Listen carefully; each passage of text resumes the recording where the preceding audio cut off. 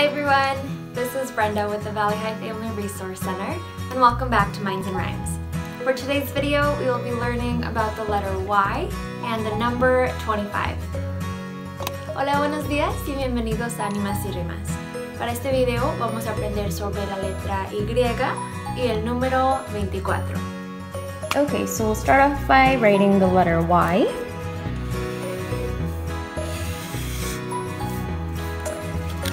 And the number 25.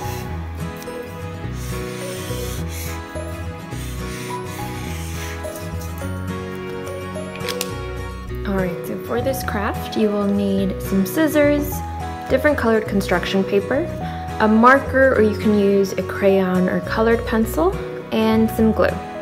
Alright, so the first thing you want to do is cut out your different pieces. So I went ahead and did this already, but the pieces that you will need, and you want to use different colors for this as well if you can, um, you will need one piece of paper that's cut into a giant Y like this, since we're working on the letter Y. You will need one big oval in a different color, two little cones like this. These are gonna be our horns. So two of those, and then two smaller circles like this, and these are going to be our eyes. So go ahead and cut these out. You can use any colors that you want. Just again, make sure that you have the big Y and then these other pieces. All right, for the next step, you wanna take your marker, your colored pencil or crayon, and now we're gonna color in parts of the face for our yak. So we'll start off with the eyes. These two circles are gonna be our eyes. So I'm just gonna color these in to resemble the two eyes.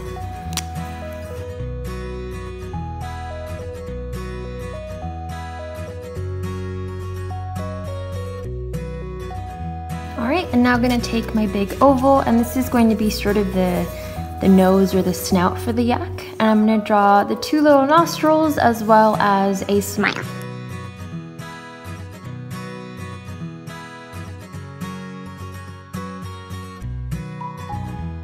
All right, and now it's time to start gluing. So we'll start off with our big Y, and this is gonna be sort of the, the body of the yak.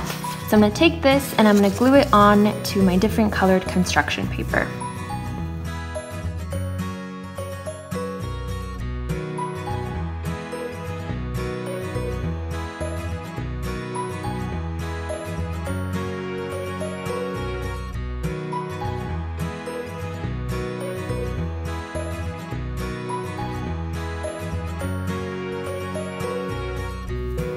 For the next step, we're gonna move on with the face. So I'm gonna take my two eyes and the snout, and I'm gonna glue these to the center of the Y.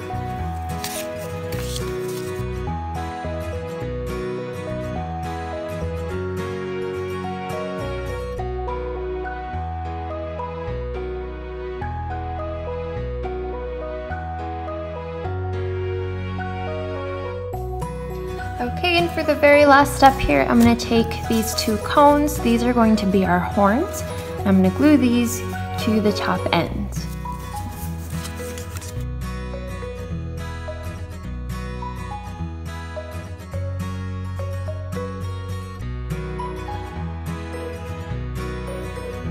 And here is our finished product. So we have a little yak for the letter Y.